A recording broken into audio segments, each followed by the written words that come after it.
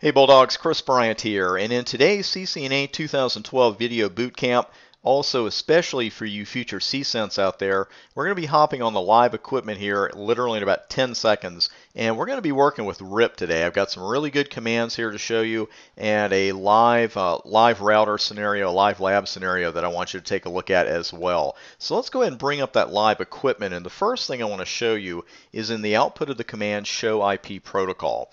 By default, RIP is going to send an update, a full routing update, every 30 seconds. It's not just advertising the routes that have changed since the last update, it's sending the full tables every single time. That is a lot of unnecessary overhead. It's unnecessary on the local router, and we really don't want our remote routers having to unpack that either. They got enough to do. So this is why you don't see RIP on a lot of wide area networks. Something else I wanted to show you here, man, I had the hardest time keeping this straight when I was studying for the NA, so I just want to drill this home for you. You know, we have the two versions of RIP. You know you got to know the differences between the two, and there are several of them.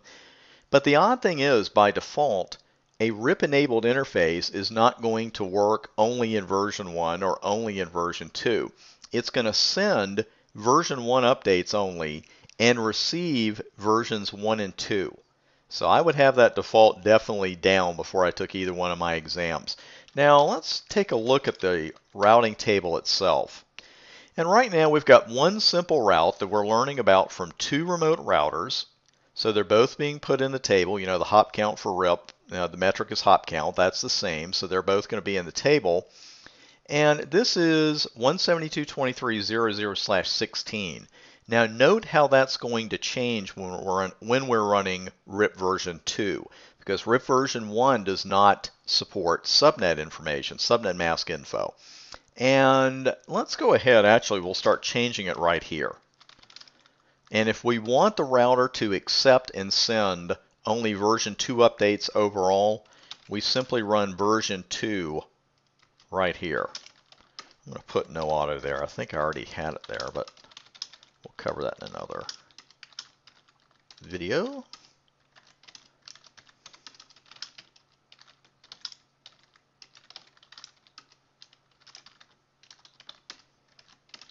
All right, let's hop back up to router 1 then, and we're going to take a look at show IP route rip again. Now, this is interesting. We're seeing the subnet information now, the subnet mask 172.23.23.0/24 and we're now seeing the phrase variably subnetted where we didn't see it before. And we're seeing that from router 2 and router 3 in our network.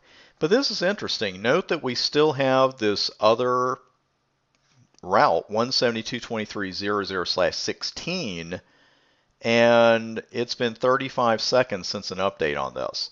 This is another reason that you don't see RIP in a lot of production networks is that it's very slow to converge on its own. So we've made a major change here, but we still have this route kind of floating around out there that we don't want.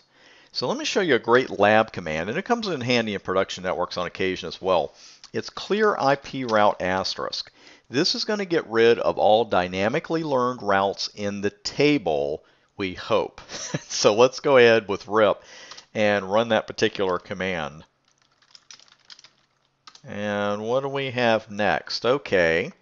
So now note that we still have the subnet information, but notice now that we're also getting the version 1 update. See that classful mask, it's still being advertised out there.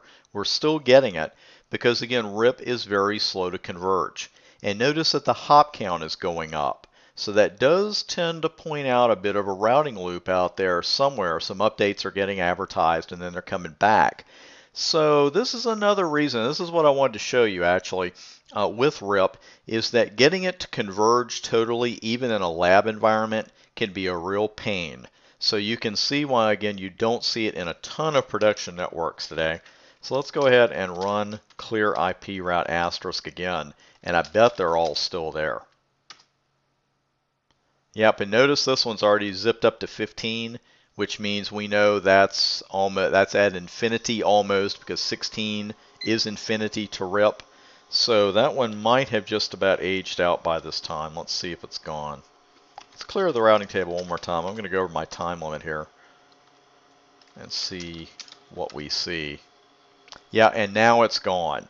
So we could have seen possibly down there. I'm really glad you got to see that because I know you get to see a lot of slash 15, you know, in the books, but it's kind of hard to replicate it on live equipment. But that's one reason I wanted to do this lab again is just to illustrate to you that getting RIP to converge in a production network can be even harder because this is a simple three router setup and look what we had to do. We had to clear our table a couple of times to get that to work. So some great practical stuff there for you to see as well. And again, finally, after continuing to clear the table, we finally got rid of those old routes. But that is one issue with RIP, is that slow convergence. And between that and the continuous updates, that's a real reason you don't see it in a lot of production networks. But we still got to know it for the exam. Thanks for watching today's CCNA Video Bootcamp. Come on out and join me on Twitter, on the blog, and Facebook as well. And look for our free ebooks hitting Amazon.com in May 2012. Thanks again for making TBA part of your Cisco certification success story. I'm Chris Bryant, and I'll see you next time.